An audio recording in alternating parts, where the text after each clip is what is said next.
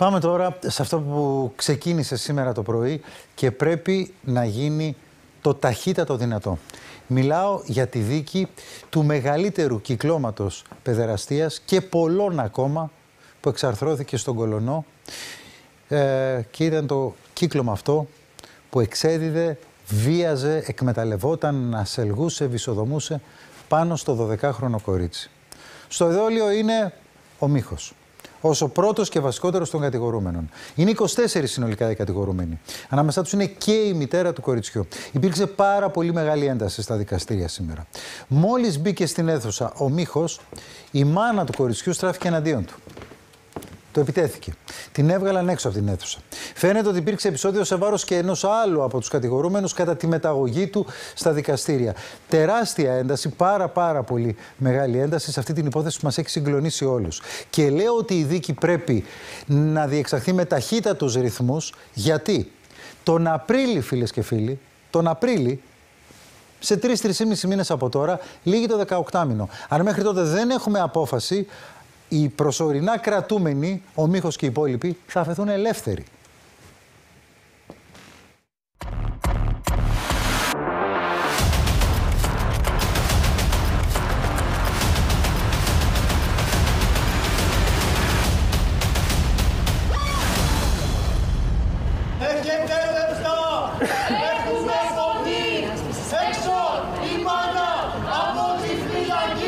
Με το χρόνο να μετράει ανάποδα για την αποφυλάκηση των κατηγορουμένων στην πολύκροτη υπόθεση της μικρής 12χρονη του Κολονού, η ένταση στα δικαστήρια χτύπησε κόκκινο.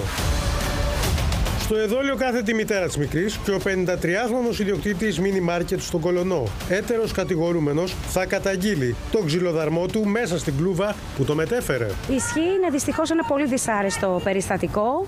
Ξέρετε, η Ελλάδα είναι κράτος δικαίου.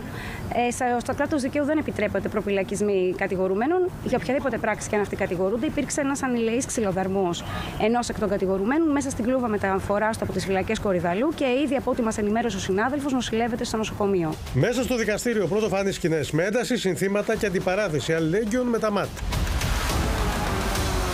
Την ίδια ώρα, οι δικηγόροι των δύο πλευρών διασταύρωσαν τα ξύφη τους για όσα έγιναν μέσα, όπου η μητέρα πήγε να λιντσάρει, όπως λέγεται, το βασικό 53χρονο κατηγορούμενο. Η μητέρα με το που είδε, όπως σας είπα και πριν, το βασικό κατηγορούμενο, ε, αυτό που όπως ήταν φυσιολογικό να κάνει, ε, ήταν να προσπαθήσει να ξεφύγει από τον αστυνομικό κλειό και να ορμήσει στον ε, βασικό κατηγορούμενο. Από την πλευρά του, ο 53χρονο κατηγορούμενος υπεραμείνεται της αθωότητάς του. Είναι αλήθεια ότι ζήτησε να παραστεί στη δίκη η 12χρονη. Όχι, δεν είναι αλήθεια και δεν προβλέπεται καν από τον νόμο αυτό. Αυτό δεν ξέρω από πού βγήκε και είναι παντελώς λάθος και παράνομο. Την ίδια ώρα, η συνήγορος της μικρής του 10χρονη αποκάλυψε πως η υπεράσπιση των δικαιωμάτων της μικρής έχει μπει ομάδα τριών δικηγόρων. Ζητούν η δίκη να γίνει και κλεισμένων των θύρων. Ξεκινάει σήμερα αυτή η πολύκροτη δίκη με την υπόθεση της 12χρονη του Κολονού. Ε, από τη μεριά της 12χρονη προς υπεράσπιση της κατηγορίας θα είμαστε τρεις δικηγόροι. Εγώ, η κυρία Ψαράκη και ο κύριος Πρεβενιός. Ε, θεωρώ θα, το πρώτο μας και βασικό αίτημα που θα γίνει είναι να γίνει δίκη και κλεισμένων των θυρών. Η υπόθεση αποκτά και πολιτικό χρώμα με τη Νέα Αριστερά να δηλώνει παρόν. Βρισκόμαστε σήμερα εδώ γιατί η συγκεκριμένη υπόθεση αναδεικνύει με ένα τραγικό τρόπο όλα τα κενά που υπάρχουν στην προστασία των θυμάτων έμφυλης βίας και σεξουαλικής κακοποίησης. Είμαστε από την πρώτη στιγμή κοντά στην 12χρονη θεωρούμε ότι αυτή τη στιγμή χρειάζεται όχι μόνο δικαιοσύνη, αλλά απαιτούνται αμέσως εκείνες οι ενέργειες που 4,5 χρόνια τώρα δεν βλέπουμε να γίνονται από την πολιτεία. Υπό την ομοβροντία συνθημάτων, δικηγόρος κατηγορουμένου υποστήριξε την αθότητα του πελάτη του. Ο εντολέας μου αντιλαμβανόμενος την δύσκολη θέση τόσο κοινωνικά, οικογενειακά και οικονομικά της ανήλικης 12χρονης ε, προσπάθησε μόνο να την βοηθήσει. Η δίκη θα συνεχιστεί την Τετάρτη. Λέγεται ότι θα έχουμε συνεδριάσεις πολλές, τουλάχιστον τρεις κάθε εβδομάδα. Κάποιοι άλλοι λένε ότι μπορεί να έχουμε και πέντε συνεδριάσεις. Μακάρι Μακάρι να είναι πέντε και μακάρι να είναι και πολλοί ώρες να εξαντλείτε το ωράριο κάθε φορά. Γιατί αν σκεφτείτε ότι μιλάμε για 24 κατηγορούμενους, μόνο οι αγορεύσεις των συνηγόρων τους, βάλτε πόσο χρόνο θα πάρουν. Οι μάρτυρες, τα στοιχεία, τα έγγραφα. Μιλάμε για μια δίκη η οποία θα μπορούσε να διαρκέσει πάρα πολύ με το συνήθι ρυθμό. Και αν θα διαρκέσει πάρα πολύ, οι κατηγορούμενοι θα πρέπει να φεθούν ελεύθεροι. Τα 18 μήνα αρχίζουν να συμπληρώνονται από τον Απρίλιο. Δεν συμπληρώνονται όλα ταυτόχρονα, αλλά τρέχουν αρκετά κοντινά το ένα με το άλλο. Σήμερα το πρωί λοιπόν στις 10 έγινε η μεταγωγή των προφυλακιστέντων για να ξεκινήσει η διαδικασία. Μέσα στο δικαστήριο βρέθηκε εκεί που βλέπετε πίσω με το μπλε η μητέρα της 12χρονης. Είναι και αυτή προφυλακισμένη. Τη στιγμή που στην αίθουσα μπήκε με τη συνοδεία των αστυνομικών ομίχος, η μητέρα σηκώθηκε σηκώθηκε πάνω και προσπάθησε να το επιτεθεί. Υπήρξε πάρα πολύ μεγάλη ένταση. Θα δείτε ακριβώς έτσι όπως το έχει αποτυπώσει το τμήμα των γραφικών του Μέγκα τι συνέβη εκεί. Ε, του μιλούσε, του ε, έλεγε πολύ άσχημα πράγματα και βρισχές. Τόσο πολύ που χρειάστηκε να επέμβουν οι αστυνομικοί, να βγει έξω από την αίθουσα με τη συνοδεία τους και με τον ε, κύριο Λίτρα να είναι από κοντά, γιατί πραγματικά το πράγμα έφτασε στο μη παρέκει. Πάμε λοιπόν τώρα να δούμε μερικά πλάνα. Όχι, από, ε, μάλλον να δούμε την Άννα πρώτα. Άννα, καλησπέρα. Για πες μας λίγο τι ε, έγινε σήμερα στο δικαστήριο, σε αυτή την πραγματικά γεμάτη ένταση διαδικασία. Μια ένταση που να μην κοροϊδευόμαστε, την έχουμε όλοι μας. Γιατί είναι μια από τις ιστορίες που έχει συγκλονίσει τους πάντες το τι έγινε με αυτό το 12 χρόνο. Μας έχει σοκάρει όλους σεξουαλική βία και εκμετάλλευση που, που υπέστη αυτό το παιδί. Έτσι, ένα 12χρονο παιδί. Και να πω και κάτι, Άννα μου, λέμε 12χρονο. Το παιδί αυτό έχει αρχίσει να βιάζεται ίσως και από τα 9 του χρόνια. Έτσι, γιατί Πρέπει να το δούμε στο σύνολό του για να καταλάβουμε τι έχουν κάνει αυτοί οι άνθρωποι οι οποίοι αντιμετωπίζουν τώρα τη δικαίωση. Εμείς μιλάμε βάσει του κατηγορητηρίου που φαίνεται τέλος πάντων ο χρόνος τέλεσης αυτών των εγκλημάτων να είναι μισό των τελευταίο, το τελευταίο εξάμεινο του 2022. Να σου πω ότι η δίκη θα διεξαχθεί και κλεισμένων των θυρών. Αυτή ήταν η απόφαση του δικαστηρίου. Έτοιμα το οποίο κατατέθηκε από την πλευρά της 12χρονη, από τους δικηγόρους της. Και κλεισμένων των θυρών. Δευτέρα, Τετάρτη, Παρασκευή σε πρώτη φάση συνεδριάσεις. Όπως είπες και εσύ, είναι ένα δικαστήριο το οποίο πρέπει να τρέξει, να τρέξει πάρα πολύ, γιατί δεν πρέπει να φεθούν ελεύθεροι οι κατηγορούμενοι πριν ολοκληρωθεί η δίκη τους. Αρχές Απρίλη τελειώνει το 18 μήνο. Τώρα, όσον αφορά τις εντάσεις, ναι, ήταν πάρα πολλές από την αρχή, από, την, από τον προάβλιο χώρο του δικαστηρίου ακόμα, με το πριν ξεκινήσει, είχαμε συγκέντρωση αλληλέγγυων και στη 12χρονη και στη μητέρα της, για, την οποία ζητούν, για την οποία ζητούν να βγει έξω να αποφυλακιστεί, ότι δεν έχει δηλαδή καμία ευθύνη για αυτήν την υπόθεση. Μία ένταση που συνεχίστηκε και μέσα ε, στο δικαστήριο, δηλαδή έξω ακριβώς από την δικαστική αίθουσα. Ε, να σου πω, Νίκο, ότι στην υπάρχουσα αστυνομική δύναμη προσθέθηκε δύναμη των ΜΑΤ, ομάδα των ΜΑΤ και των ΙΜΕΤ, καθώς είχαν οξυνθεί πάρα πολύ τα πνεύματα. Βεβαίως, καταλητικό ρόλο έπαιξε η παρέμβαση της αδελφής, της μεγάλης αδελφής της 12χρονη, η οποία ζήτησε να σταματήσει αυτή η ένταση που υπάρχει, να σταματήσουν οι φωνές για να μπορέσει να ξεκινήσει το δικαστήριο. Το οποίο σήμερα τι έγινε, συγκροτήθηκε σε σώμα, νομοποιήθηκαν οι δικηγόροι, κληρώθηκαν οι ένορκοι και από την Τετάρτη ξεκινάει επί της ουσίας βέβαια με τη θεία της 12χρονη, την κατάθεση της θείας της 12χρονη, η οποία υπενθυμίζω ότι ήταν αυτή που ξετύλιξε όλο αυτό το κουβάρι. Έτσι. Είχε πάει το κοριτσάκι ναι, ναι. για διακοπές το καλοκαίρι του 22 και εκεί η θεία κατάλαβε ότι κάτι συμβαίνει και έτσι ξεκίνησαν να αποκαλύπτουν. Να αποκαλύπτουν Άρα, όμως, ευχαριστώ. Θα παρακολουθήσουμε τη δίκη. Δίκη πολύκροτη. Θα έρθει η Ρία Τσοχαντάρη. Ε, θέλω να πω ότι το κορίτσι, το 13χρονο κορίτσι, ζει κάπου μακριά από την Αθήνα. Όπως το ξέρετε, όσοι μας παρακολουθείτε τακτικά, έχουμε μια επικοινωνία με το περιβάλλον, με την θεία της, του 13χρονου κοριτσιού, που είναι η γυναίκα που το αποκάλυψε όλα και που μαζί της μένει το κορίτσι. Δεν έχουν σταματήσει τα επεισόδια. Το κορίτσι το έχουν απειλήσει, το έχουν κυνηγήσει, έχουν υπάρξει κινήσεις σε βάρος της είναι κάπου μακριά από την Αθήνα. Δεν χρειάζεται να πούμε καμιά άλλη λεπτομέρεια και σίγουρα αυτή η περίοδος θα είναι πολύ δύσκολη για αυτό το παιδί.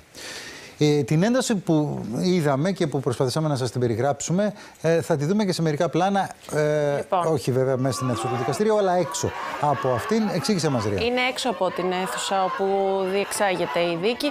Εδώ βλέπουμε πλήθος κόσμου. Είναι η στιγμή που, έχει- γίνεται η μεταγωγή των. Ακριβώς. ε, Μπαίνουν κρατούμενων. 24 κατηγορούμενοι και εκείνη τη στιγμή κόσμος αρχίζει και τους φωνάζει, τους βρίζει. ε, συνθήματα κατά των ε, βιαστών, των παιδοβιαστών και ε, φυσικά συνθήματα υπέρ της μητέρας της 12χρονη. Εδώ θα δούμε και την ομάδα των ΜΑΤ ε, που παρενέβη. Εδώ είναι η στιγμή που βγαίνει από την αίθουσα ε, η γυναίκα μετά και από το λεκτικό επεισόδιο που είχε με το βασικό κατηγορούμενο το Μίχο. Μμμ. Τώρα, Τώρα, ανάμεσα, Νίκο, στους ανθρώπους αυτούς ε, βρίσκεται και η γιαγιά της 12χρονης, όπως μας είπε, ήταν στο δικαστήριο, είδε την ε, νύφη της ε, σήμερα, σχολιάζει όλο αυτό που έγινε μεταξύ της μητέρας της 12χρονης και του 53χρονου βασικού κατηγορούμενου και φυσικά δίνει και το δικό της μήνυμα για όλη αυτή τη δίκη που ξεκινά. να ακούσουμε λοιπόν αυτά που είπες στην εκπομπή μας η γιαγιά του 13χρονου πια σήμερα κοριτσιού. Μία λέξη μόνο θα σας πω. Να υπάρχει δικαιοσύνη, να βγάλει τη μάνα από εκεί και να κρεμάσει τους ανώμαλους. Αυτό είναι λογικό, να τους κρεμάσει. Εδώ είμαι, εδώ είμαι, εδώ είμαστε όλοι. Την είδα, πώς θέλατε να είναι. Όταν τον αντίκρισε έπασε καλά είμαι. Προσπαθώ να είμαι καλά, καλά είμαι. Είμαι κολόνα του σπιτιού. Έχω υποχρεώσεις και πρέπει να αντέχω. Να πω και μια καλησπέρα στον κύριο Λίτρα, ε, τον ε, δικηγόρο που βρισκόταν βέβαια σήμερα εκεί στην ε, δίκη, ως παράγον της δίκης. Κύριε Λίτρα, γεια σας. Γεια σας, καλησπέρα. Πείτε μας λίγο, τι έγινε μέσα στην αίθουσα με την ε, Εντάξει, μητέρα το και είχαμε- τον- το- την εντολέα εγώ, σας, δηλαδή ε, και τον Μίχο. Ναι, ναι, ναι. Ήταν ε, μια στιγμή την οποία την, περι- την περίμενα. Με- θα έρχονταν αντιμέτωπη με, τους, με το βιαστή του παιδιού της, με ανθρώπους οι οποίοι έχουν ασελγίσει στο παιδί της. Ε, η αντίδρασή της ήταν να προσπαθήσει να ξεφύγει από τον αστυνομικό κλειό και να προσπαθήσει να επιτεθεί στον ε, βασικό κατηγορούμενο. Ε, δεν τα κατάφερε με, με, με τη δύναμη της αστυνομίας που υπήρχε. Βγήκε έξω, βγήκα και εγώ μαζί της ε, να προσπαθήσω να την ηρεμήσω. Ε, μετά η κόρη της, η 19χρονη, και αυτή προσπάθησε μαζί με μένα να ηρεμήσουμε την, την μητέρα. Ε, βγήκε μάλιστα έξω και στους παρευρισκόμουν ε, στο κορίτσι το 19χρονο να τους πει ότι πρέπει η δίκη αυτή να ξεκινήσει. Πώς είναι το κορίτσι το 13χρονο σήμερα; Ε, είναι πραγματικά σε τραγική κατάσταση. Ε, αυτό που καλά κάνετε και μου το ρωτάτε, ε, εννο- ε, δεν ξέρω, ειλικρινά, με, με την εμπειρία τέλος πάντων που έχω, δεν ξέρω, νόμιζα ότι μετά από τόσο καιρό τα πράγματα θα πηγαίνουν προς το καλύτερο, τα πράγματα πηγαίνουν προς το χειρότερο. Τι εννοείτε; Ε, Έχει συνεχώς εφιάλτες, δεν μπορεί να κοιμηθεί το παιδί, έχει άρνηση για τα πάντα, για το σχολείο. Το μόνο, το μόνο που επιθυμεί είναι να καταδικαστούν οι άνθρωποι που της έκαναν κακό και επειδή η μητέρα της όπως έχει καταθέσει και η ίδια πάρα πολλές φορές δεν έχει καμία απολύτως σχέση και βρίσκεται σύμφωνα με τη 12χρονη άδικα στη φυλακή να βγει έξω και να ξανασυνδεθούν ως οικογένεια. Κύριε Λίτρα, είπατε είχε άρνηση, δεν πηγαίνει σχολείο; Πηγαίνει σχολείο, αλλά έχει άρνηση, σας λέω. Έχει, δεν είναι όπως, όπως είναι ένα φυσιολογικό παιδί. Η θεία είναι συνεχώς 24 ώρες το 24ωρο απάνω της. Το παιδί χρειάζεται ε, μεγάλη ψυχολογική υποστήριξη. Την οποία έχει, δεν υπάρχουν την κάποιοι ειδικοί, γιατί είχαμε περιγράψει τα προβλήματα, είχαμε ασχοληθεί πολύ. Υπάρχει Είναι τώρα κάποια ακριβώς με υποστήριξη τον στο ίδιο παιδί; Τρόπο, όχι, όχι. Είναι, είναι, είναι με τον ίδιο τρόπο που υπήρχε. Μια ελαχιστότατη ψυχολογική υποστήριξη. Ακούσαμε πάρα πολλά λόγια στις αρχές και από πολιτικούς και από κυβερνητικούς εκπροσώπους. Αυτά στην πράξη δεν τα είδαμε. Μάλιστα. Και Είναι θέλω πολύ να σου σοβαρά πω όλα μετά. αυτά και είναι υποχρέωσή μας να τα λέμε και να τα ξαναλέμε για να μην νομίζουν κάποιοι ότι τα πράγματα εξελίσσονται ιδανικά. Το ανάποδο συμβαίνει. Μιλάμε για το πιο εμβληματικό θύμα παιδεραστίας, βιασμού στην Ελλάδα. Το καταλαβαίνετε με ποιο τρόπο το λέω. Ένα παιδί που θα πρέπει να πέσει όλη η κοινωνία πάνω του για να το βοηθήσει και όλο αυτό το επιστημονικό δυναμικό και ό,τι έχει αυτή η χώρα τέλος πάντων και είναι αφημένος στην τύχη του στην ουσία. Έτσι, αυτή είναι η πραγματικότητα. για να μην μια τα ωρεοποιούμε τα παρατήρηση πράγματα. να κάνω. Κύριε Βαγγελάδε, ε, μαζεύτηκαν άνθρωποι από την περιοχή, από τον Κολονό. Άκουσα που τους ανέφεραν ως αλληλέγγυους, απλά να μην ε, ε, ακουστεί ότι είναι κάποια ομάδα, δεν ξέρω και εγώ τι. Οι περισσότεροι γνώριζαν την οικογένεια από αυτούς τους ανθρώπους σήμερα που ήταν στο δικαστήριο Μάλιστα. και φώναζαν. Μάλιστα. Κύριε Λίτρα, σας ευχαριστώ πολύ. Εκτιμάτε ότι θα τελειώσει η δίκη πριν τον Απρίλιο; Κοιτάξτε, το θεωρώ δεδομένο. Δεν είναι δυνατόν αυτοί κάποια εκ, εκ των κατηγορουμένων να φεθούν ελεύθεροι. Μακάρι, πραγματικά Και να γίνει μακάρι. τέτοιο λάθος από το δικαστήριο. Το θεωρώ αδιανόητο. Σας ευχαριστώ πολύ. Ευχαριστώ πάρα πολύ. Να το πω ξανά, ο κύριος Λίτρα είναι ο δικηγόρος, ο υπερασπιστής της μητέρας, η οποία είναι επίσης προφυλακισμένη, είναι ανάμεσα στους κατηγορούμενους αυτής της ιστορίας.